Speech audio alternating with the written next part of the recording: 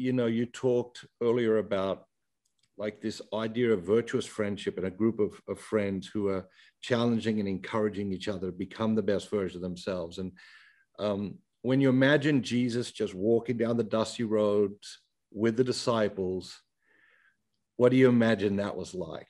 Right. Um, so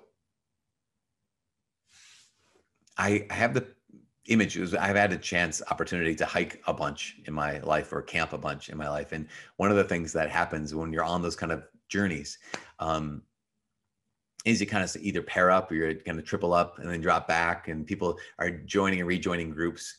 And one of the things that just strikes me is the naturalness of, you know, you just kind of drop back a little bit because you want some quiet time. You join up with this other group because you you what are they talking about up there?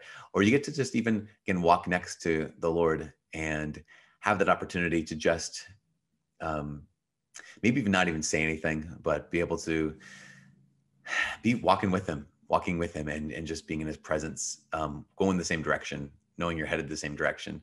Uh, I keep having that. Yeah, that's that's the, what I keep imagining is those pair ups, those those uh, dropping back, those walking with the Lord.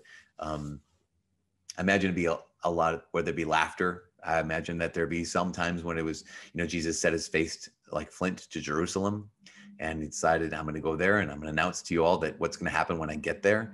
Um, it's maybe less laughter in those situations, but but that would be incredible too to see how does the Lord face um, how how does he do this walk? How does he do this walk where he knows what's at the end of the road?